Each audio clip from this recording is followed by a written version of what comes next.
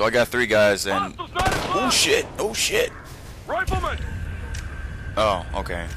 Damn, I got him. See, this is what I'm talking about. I like fucking uh, you know, AI fucking co-op people or something that that are not like fucking playing like five year olds. Like, have you ever played a game or something like that where you have like you know computer people that just fucking you know they're supposed to help you, but they don't do shit? Like Sheva or something like that from Resident Evil 5, who just literally does not do shit. Like these people are a fucking bomb.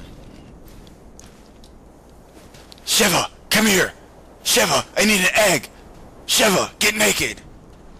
No, I'm trying. Chris, help! I'm out of ammo. That's one big camp. No way we find Macaba and all that without help. We wait for a view from upstairs, we might lose him. 30. We go into that mess blind, we lose him for sure. Overlord Hunter, we need a SAT scan of that refugee camp. Overlord copies. Stand by, we'll push it to you. New Lorenda. It's a powder keg down there, gentlemen. Humanitarian crisis doesn't even begin to cover it. Makaba's thugs control everything. Food, water, medical supplies. And what they can't control through possession, they control by fear. There we go, that's our man. Once you're inside, track him down, and he should lead you to the shipment. Makaba controls everything, one way or another. Oh, damn. Everything begins and ends with Just Makaba. people. He's your top priority in there. Roger, Overlord. What's the ETA on our ride? Your contact's already on site. He'll have to keep a low profile. Just try not to draw any attention to him. He's putting a lot on the line to get us in. Copy that. Hunter's moving to rally. Okay. Sir? Yeah, I see him. Gonna have to take him out. Camo's up. Perform a Yeah. sync shot. We'll Mark have the to do it clean. Line them up, hold fire until we're all on target. Okay, so we're gonna have to perform a sync shot. So to perform a sync shot, mark the enemies by aiming at them and pressing R2. So if it sounds like anything what it, it seems like to me, maybe it might be something like Splinter Cell Conviction. Where you just aim at the targets, mark these fuckers. Wait. Mark one, Holding for your mark shot. two. Oh, you can see the On you. And he's number three. Fourth target. On you. Standing by. Damn, that was some bomb ass shit. That's it. He's clear. Activating camo. Load it up, let's go. Alright, that was awesome. See, in Splinter Cell Conviction, like, Sam Fisher does the impossible task of, like, shooting four targets with a fucking pistol from, like, 800 meters away. This is, this is more realistic.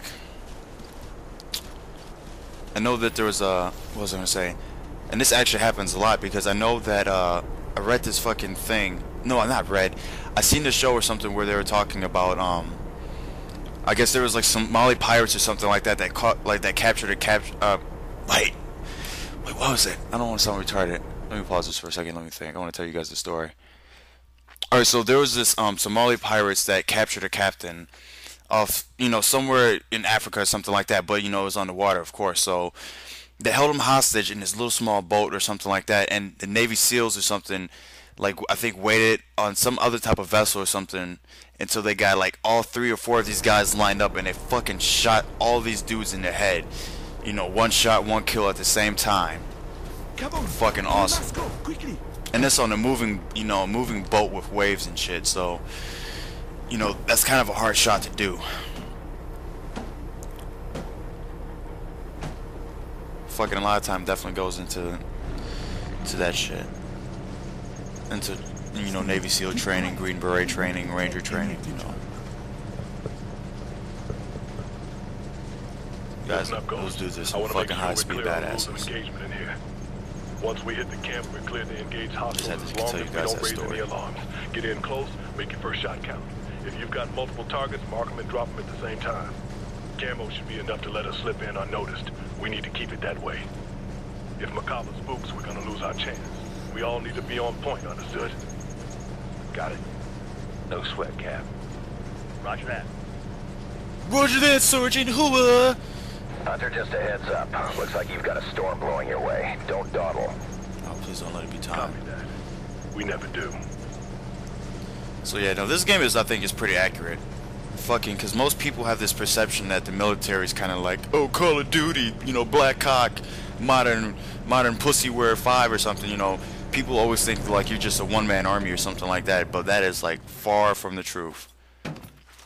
This is, I think, more accurate, an accurate perception. Medal of Honor was actually a very accurate game. Um, with everything. Remember, if you got a kill, do it quiet. If they sound the alarm, mission's over. Understood. So we gotta do this quietly. We're gonna kill the mercenaries before raising alarms and beware of civilians. Yeah, so people have this horrible perception of the army that is just not the army, the military is like everybody, everything is just Call of Duty, and is like so there, far on the from the truth. Can you tell what he's doing? It's a patrol. Especially if you're like a normal fucking grunt, because that's what I was, and you do so much bitch work. It is unfucking believable. I've got eyes on two more. These are definitely some high-speed fucking spec op guys. So, In the building there. So let me just stop talking so I can realize what the fuck I'm doing. Because when I'm talking, I start fucking up. So we're gonna toss a sensor grenade over not sensor grenade, but a sensor over there, and we're gonna see what's going on. So we have one asshole, we have a second dickwad, we have a third cunt rapper, and we have a fourth ass clown. All right there. So we gotta infiltrate over there. So we can do this pretty quietly. Open weapon box. Okay, so I'm gonna keep the gun that I wait AK-200. No, I don't want that.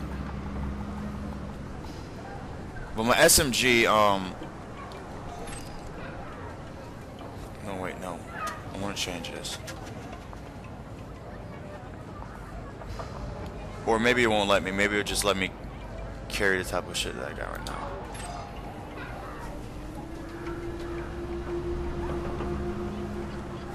Wait, let me make sure I didn't fuck up and just like completely do something dumb. So these are my assaults. SMG. MP7. Okay, so this is what I had. I thought it was gonna allow me to like fucking trade in my weapon for like a, a silenced weapon or some shit. But I guess not. So let's move down this way and take our time. Man, this is some badass shit. This fucking camo is the shit. You know, because this would be fucking Solid Snake. Oh, oh, get out, get out! Like, you know, he would have to just sit there and fucking low crawl or something. Wait. You know, gotta blend into this rock. It's like, okay. Do, do, do, do, do, do, do, do. Oh, camo index went from 90% down to like 2. So, wait. Gotta sit there and blend in.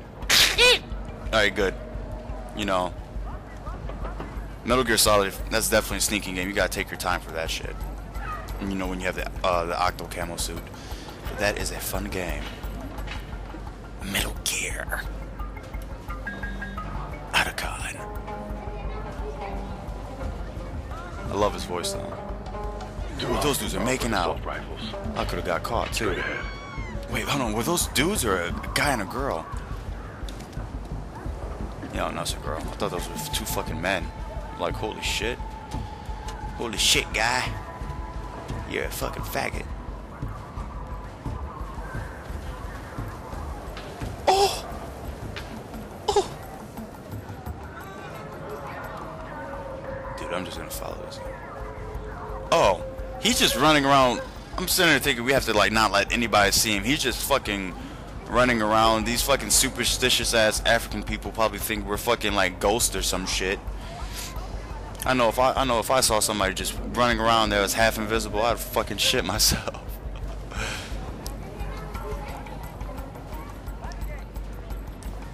Oh, I saw this funniest video in the world today.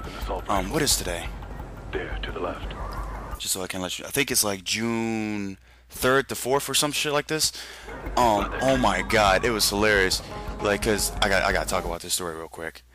Actually, I'm gonna keep playing, but I gotta talk about the story. So, in Miami or something like that, um, it was it's, been on the news and the web and everything, and the internet and everything, about how that you had that dude that fucking ate that guy's face.